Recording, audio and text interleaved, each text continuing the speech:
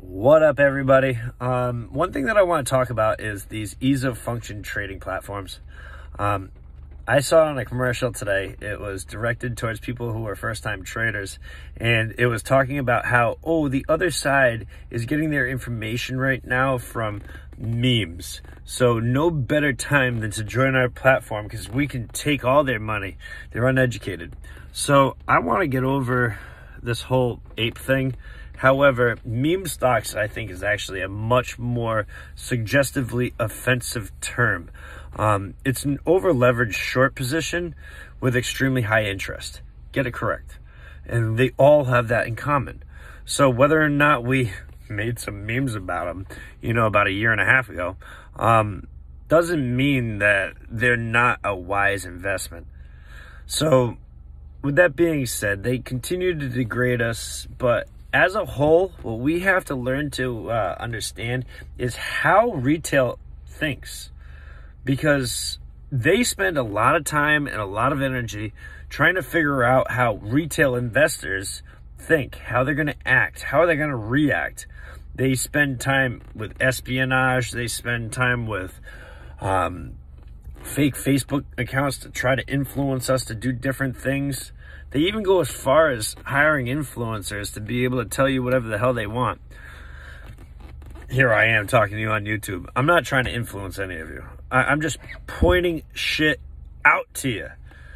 Um, however, moving forward, it's important to think like us or understand how we think or try to step outside the way that or a step away from retail and observe and make our decisions based off of how they react because they're the new market maker.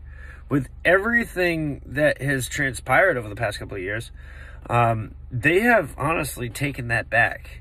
So a lot of things are going to reflect how retail reacts.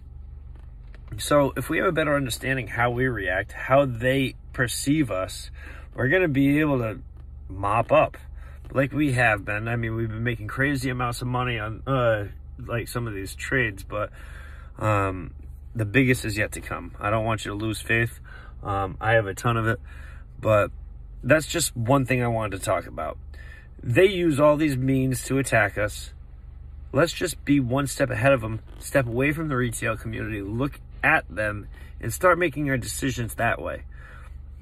I'm not going to tell you which decisions to make. I just think that maybe that's a little bit better approach than, you know, just blindly going to things. I mean, if they're advertising on television that we are the people that they're going to take the money from, maybe we're being targeted and we ought to one up them and figure out some sort of defense mechanism to this. So, savvy investors, I uh, I like talking to y'all. Maybe this won't last forever about AMC.